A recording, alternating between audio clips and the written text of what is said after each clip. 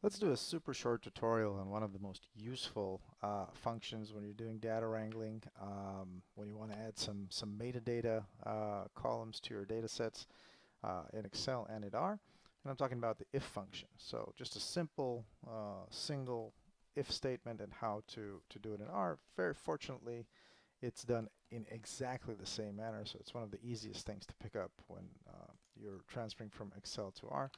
Let's uh, Let's clean up here. Uh, import the data set from this link and write it to your um, to your working directory. Um, I'm just going to set the uh, working directory to my documents folder here for a sec. Then let's run and add dplyr, which is optional, but I always like to show it in base R and in tidyverse.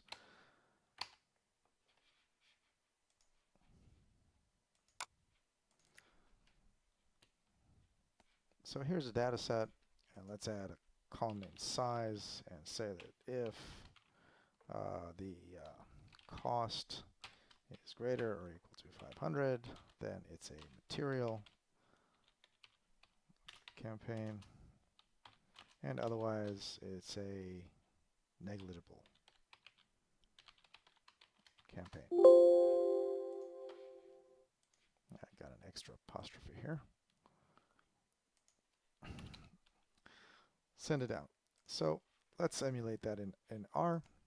And we're using uh, a function called if-else. And it's uh, it, it takes all the arguments in exactly the same manner. So we're going to add a column called size to the campaign's data set by using uh, if-else with uh, the campaign cost column greater than or equal to 500. If true, give me uh, material. If false, give me negligible. Let's run that, and you see that it's added here in exactly the same manner. Now let's delete that for a second and just look at how it's done in dplyr uh, or dplyr. I never know exactly how to pronounce that package name.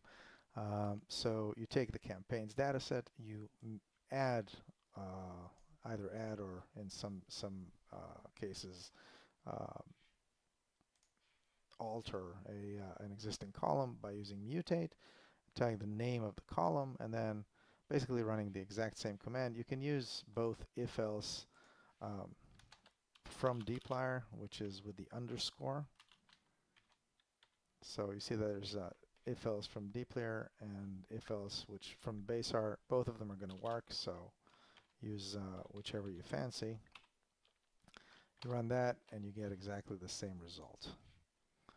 So that's it uh, for this tutorial. Hope you find it useful. Subscribe to the channel and let me know if you have any comments.